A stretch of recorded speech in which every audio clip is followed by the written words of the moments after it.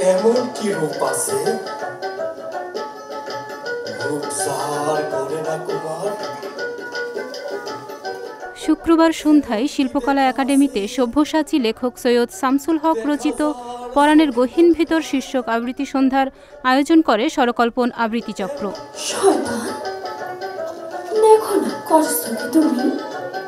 কি সুন্দর গান মুস্তাফিজ রিপনের নির্দেশনায় একক ও দলগত পরিবেশনার মধ্য দিয়ে ষোলো জন বাচিক শিল্পী এ অনুষ্ঠানে অংশগ্রহণ করেন।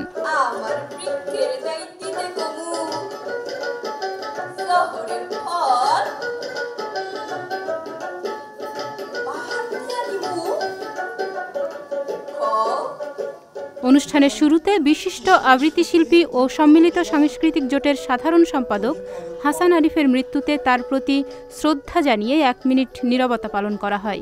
বাংলাদেশ সাংস্কৃতিক জোট, সম্মিলিত সাংস্কৃতিক জোট এবং বাংলাদেশ আবৃত্তি সমন্বয় পরিষদের সাবেক সাধারণ সম্পাদক, বর্তমান সাংস্কৃতিক জোটের সাধারণ সম্পাদক, বরণ আবৃত্তি শিল্পী হাসান আরিফ মৃত্যুবরণ করেছেন।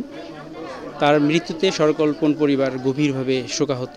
এবং দুঃখ প্রকাশ করেছে। আজকের যে প্রযোজনা, এই প্রযোজনার শুরুতেই এই বরণ্য শিল্পের প্রতি শ্রদ্ধা জানিয়ে সরকল্পনা আবৃত্তি চক্র এক মিনিট দাঁড়িয়ে নির্বতা পালন করেছে। মঞ্চসজ্জা প্রতিটি প্রযোজনার ক্ষেত্রে গুরুত্বপূর্ণ ভূমিকা রাখে। একটি সৃজনশীল মঞ্চ শিল্পীর আত্মবিশ্বাস বাড়িয়ে দেয়। তাই সফল প্রযোজনার জন্য নান্দনিক মঞ্চ প্রয়োজন বলে মনে করেন নাট্য নির্মাতা জাহিদুর রহমান। আমি সরকল্পনায় আহ, প্রায় ষোলো সতেরো বছর মঞ্চে কাজ করতেছি। আপনারা যদি এই অনুষ্ঠানটাও দেখেন এটাও মঞ্চে ব্যবস্থাপনার জন্য এটা আবহাওয়াটাই চেঞ্জ হয়ে গেছে।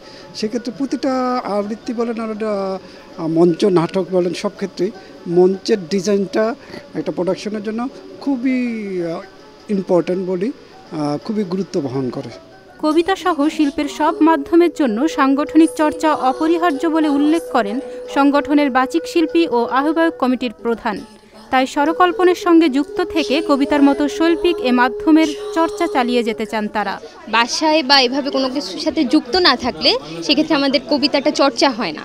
তো সেই জন্য অবশ্যই সংগঠনের সাথে যুক্ত থাকলে আমাদের রেগুলার একটা চর্চা হয়, যেখান থেকে এরকম প্রোগ্রামগুলো করা সম্ভব হয়।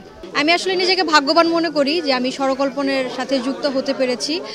আমার স্বরকল্পনকে সাথে নিয়ে আরও অনেক দূর যাওয়ার ইচ্ছা আছে। আবৃত্তির প্রসারের জন্য এবং শিল্পীদের তৈরির জন্য সাংগঠনিক চর্চাটা খুবই গুরুত্বপূর্ণ। কারণ এটার মাধ্যমে শুধুমাত্র যে কবিতা পড়ে তাই না এই আবৃত্তির সাথে সংশ্লিষ্ট প্রতিটা জিনিস এবং সাংগঠনিক মনন তৈরি থেকে শুরু করে সব কিছুর জন্যই নিজেকে তৈরি করে। আমাদের একজন নির্দেশক আছেন রিপন ভাই।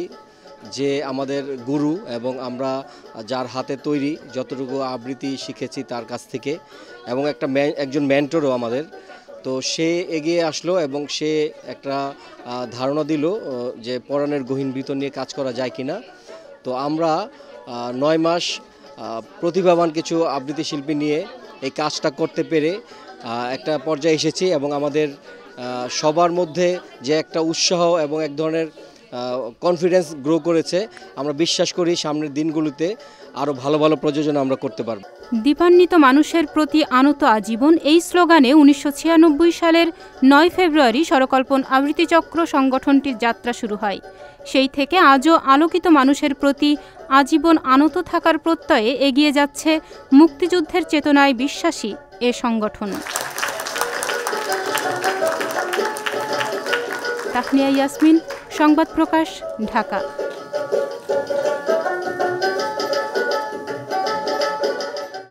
সংবাদ, ফিচার ও অনুষ্ঠানের জন্য ভিজিট করুন সংবাদ প্রকাশের ওয়েবসাইট এবং যুক্ত থাকুন ফেসবুক পেজ ও ইউটিউব চ্যানেলের সঙ্গে।